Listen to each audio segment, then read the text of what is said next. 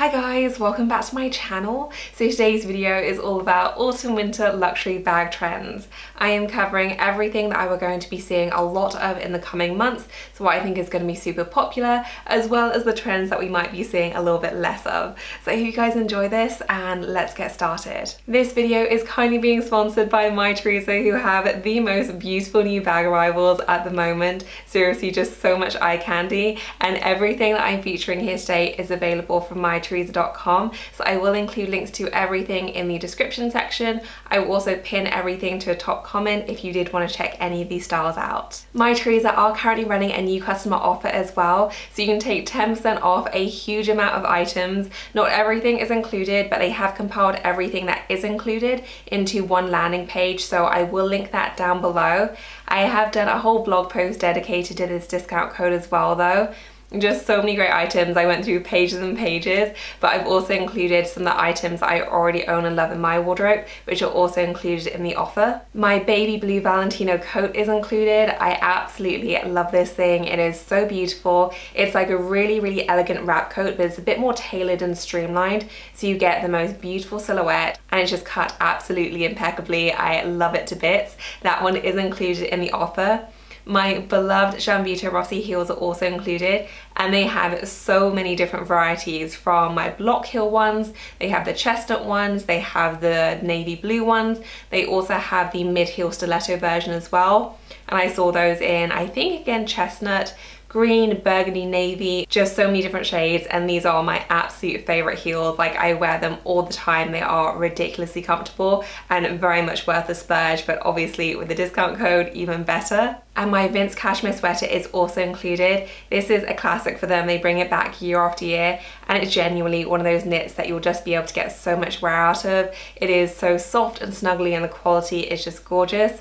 But as I said, there are just so many items included. So I'll link that blog post if you wanted to check it out, but I'll also direct link the landing page. You do need uh, different codes of different areas. So I'll list all the details below if you did want to check that out. So the first big trend that I think we're going to be seeing a ton of is teddy items and this is kind of an all-encompassing category because I think we're going to see it across the board from accessories to clothing and teddy isn't really something that's super new. I know it's been floating around for the past couple of years but I feel like this year we're just going to see an explosion. Teddy coats are a huge thing and again they've been popular for a while but I think we're going to be seeing a lot of teddy coats. Similarly, that really kind of thick fleece I think we're going to be seeing a lot of in sweaters in general, also smaller, more petite accessories.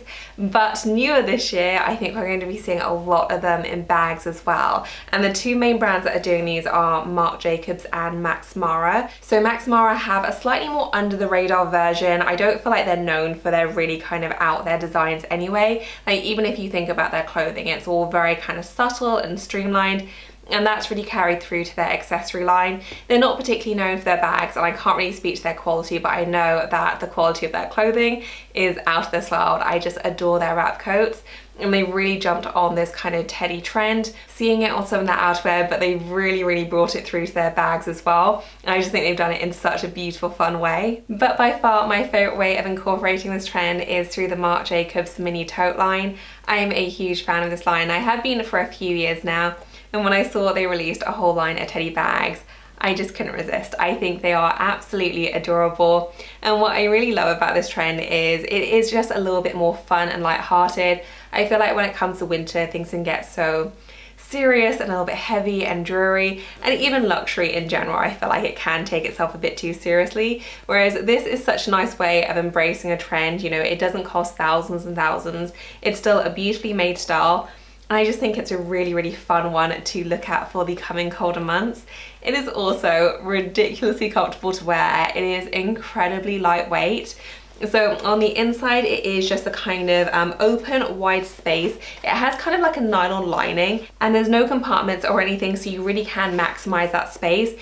It fits an absolute ton and I do have a more in-depth review of this bag coming along later on in the week as part of a whole kind of autumn bag lineup video. And so I'll show you what can fit inside then, but it is a very substantial amount. The zipper is incredibly smooth as well and then you have that beautiful plush teddy coating all the way throughout with that the taupe Marc Jacobs sign right in the front there. You do have a shoulder strap as well, it's fully adjustable so you can choose whether to wear it higher or lower, really really flexible. And I just think this is adorable, like so super cute. It is so great to wear and I just absolutely love this trend. All about the teddy styles and I think doing it in a bag style is just such a fresh way of incorporating the trend into your wardrobe.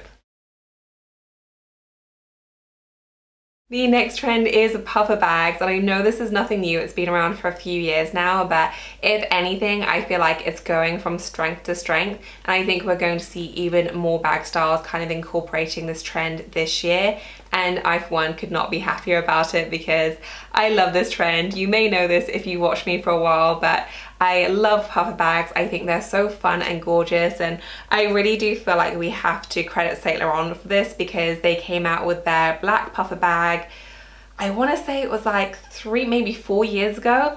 And since then, you know, they've released a ton more options and styles. I think other brands have really just kind of jumped on that bandwagon and I just think it's so fun. So I have my newest puffer bag right here. I think this is absolutely gorgeous. So this is the same one as my nude one. This is in the small size. I'll direct link the exact one that I have in the description section. You can also get the larger size as well, but having owned all the sizes at this point, this one is definitely my favorite. I just feel like it's the most wearable, it's the most versatile, it really can go very seamlessly from a day to night and I just love it to bits. My nude one in my collection is probably one of my most used bags. Like I wear it all the time. And I love the fact that I do think it's suitable kind of for summer. I wear it in spring autumn and I'm fully planning on wearing it in winter as well. Like it really is an all year round bag. This particular color combination though I absolutely adore. I think it is so beautiful the color is the nicest shade of brown I think I've ever seen. It's like a really, really rich cognac color and the hardware, which is this really pretty, it's like a vintage gold, um, so it's not super shiny. It has a really nice tone to it and I think it complements the cognac brown shade just so beautifully. I'm absolutely obsessed with this color. Like if autumn was a bag, I feel like it would be this one. The leather quality is absolutely gorgeous. Like that's really a hallmark of the Saint Laurent puffer line. It is so plush and luxurious and if anything, I feel like the leather is even softer on this one than it is on my nude one. They just seem to be improving upon it year after year. But even though it is crazy soft, it's also very durable as well. So I am full on obsessed with this bag. I could not be happier about it. Just the dreamiest color and I am so, so happy that the puffer bag trend is here to stay. And then the other brand doing this trend, which I am really, really excited about is Loewe. And I have not seen this bag in person, but if you have, please let me know in the comment section because I am actively considering this style. It is so gorgeous. They've released a whole line of these kind of a square puffer bag. So I guess it's a bit more similar to maybe my Mulberry puffer bag um, in terms of the overall shape. It has a very, very delicate kind of jewelry-like handle. And then it has that beautiful Loewe symbol right on the front. I've seen this in a whole bunch of colors. So they do this beautiful rose pink color, they do a camel, they have it in black, and I think one or two others just absolutely stunning. Um, I've not really had too much experience of Loewe before though, so if you have seen this style, please let me know in the comment section. I am super intrigued by it. I think it is just gorgeous. The next trend, and to be honest, I'm not even sure I really call it a trend because we do see this one year after year. So in my head, this is 100% firmly a classic, but it is warm camel and chestnut tones. Like whenever we come to the colder months, approaching autumn, winter, we just see all the shades get a lot warmer and a lot cozier and chestnut and camel always just fail safe. So when it comes to this time of year, obviously the two bags I showed so far, my Marc Jacobs one and my Saint Laurent one, kind of do double duty in terms of touching upon two trends. And it also just shows you the kind of variation you can get. Like I would definitely consider both these within that same color family. You have the beautiful Marc Jacobs one which is more of like a light beige camel color um, whereas the Saint Laurent one a really beautiful rich chestnut but definitely still in that same family and there are just so many brands doing this from Bottega to so much Saint Laurent like there are just a ridiculous number of Saint Laurent styles that really incorporate those beautiful rich tones. Loewe have also done a whole range of camel tones just seriously so much to choose from and just so many beautiful colours for the coming colder months. The next trend is a bit more a newer one for this year, but it is matching hardware. So I feel like we first saw this with that kind of all black trend a few years ago, but since then the hardware has gone a lot more, I guess, matte looking and really matching to the color regardless of what the color is and I have seen so many different brands do this. I've noticed Loewe do it on some of their styles, so really matching the hardware to the leather type. Saint Laurent have been doing a few styles as well. I feel like Saint Laurent can sometimes veer a little bit more towards edgy as well, and the combination of the matching hardware really makes them just very fashion forward looking and very, very cool looking. And I've also seen Gucci do this with their Marmont line, especially their mini styles. So really matching the hardware to the leather type, as well as Christian Louboutin as well. Louboutin have done it in a little bit more of a subtle way. Um, so they've gone for more of kind of like a nude color palette and then just matching that hardware to the leather really really cool trend i do think it is a little bit more edgy so if your style is super classic you might not like this one um, but if you do like your bags with a little bit of edge I think this is a really really fun one and we're just seeing it across a ridiculous number of brands. The next trend is textured bags and this is really calling upon kind of different types of fabric as opposed to just going for a leather option. And this is from kind of just very simple fabric styles right through to shearling bags which we're seeing a ton of. I have dipped my toes in the water with my Saint Laurent Jamie. So this one is a fabric style even though I feel like from afar it could look like leather but it is a fabric one. I've had this a little while now and I absolutely adore it. It's a really really fun style. Very similar indeed to the Chanel Mini but at a much more accessible price point and much easier to get as well. But I think it's adorable. It just opens up like so with that adorable YSL clasp and the capacity is pretty much identical to the Chanel Square Mini if you're familiar with that. It does have a leather lining as well, one simple pocket at the back there and then it just snaps closed. I love the different ways to wear this one as well. I like the fact you can wear it just with the single strap, you can wear it doubled up, you can wear it crossbody, really, really versatile and it's just absolutely adorable and it's really got me hooked on kind of fabric bags. I think it's such a nice alternative to leather. It also means that the bag is a lot lighter as well and I just think this one is gorgeous. Within this category though, a huge, huge subsection is shearling bags. And I don't remember ever seeing so many shearling bags in any new arrival section, but it seems like every other style is shearling. And this is right from a kind of full-on shearling bag to just a delicate trim. Saint Laurent have done a few different styles within this kind of shearling trend from smaller bags right through to their backpacks. Stella McCartney have also been doing this as well. Jacquemus I have done a couple of styles, Staud as well, Marni, just so many different brands and I think it's absolutely gorgeous. I'm not sure I'm going to be trying this trend myself just because I feel like this is very, very winter specific, whereas I like the fact that with my Saint Laurent Jamie, I can still wear it in summer if I want to. But if you wanted something that really encompassed winter in all its glory, shearling is just a gorgeous one to go for.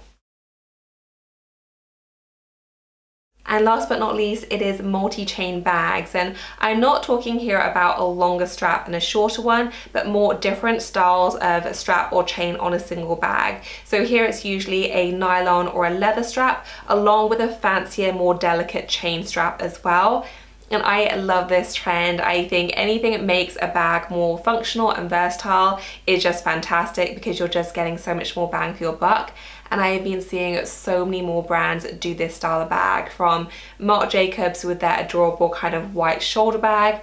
I've also seen Gucci do this. Givenchy have also released a bag incorporating this trend as well and it is so beautiful. I feel like Givenchy's new arrivals at the moment are just gorgeous. They have so many intricate new designs and they've really incorporated that multi-chain option. Again, just giving you more versatility and really allowing you to wear your bag with just so many more outfits.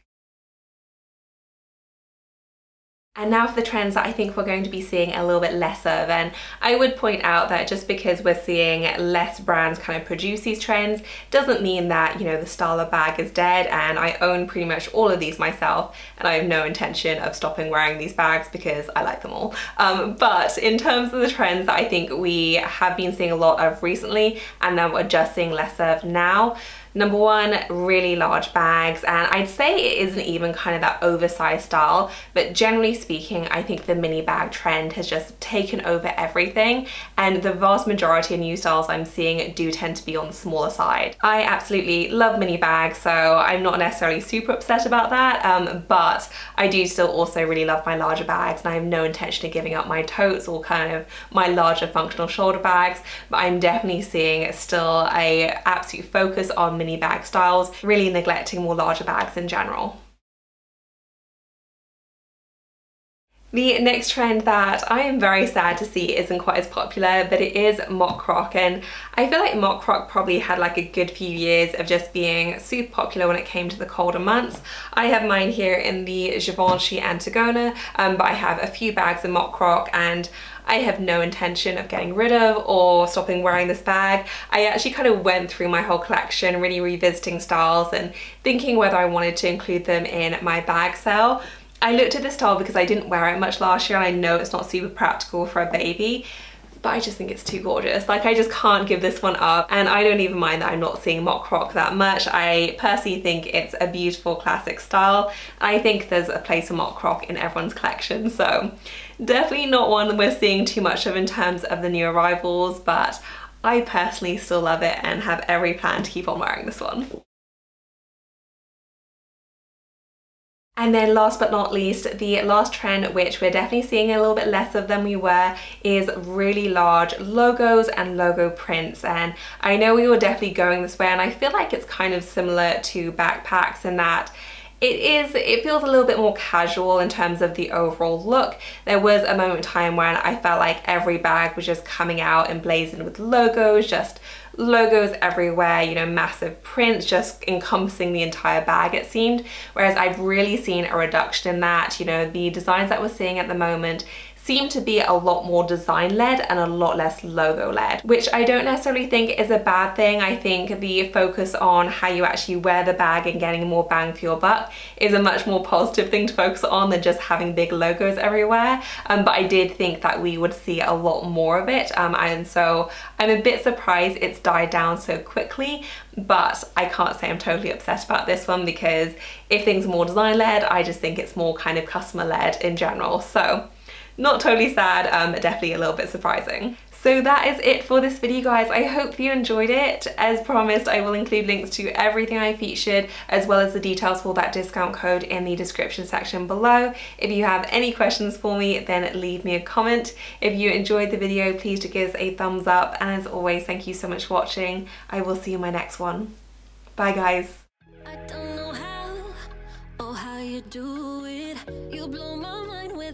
word.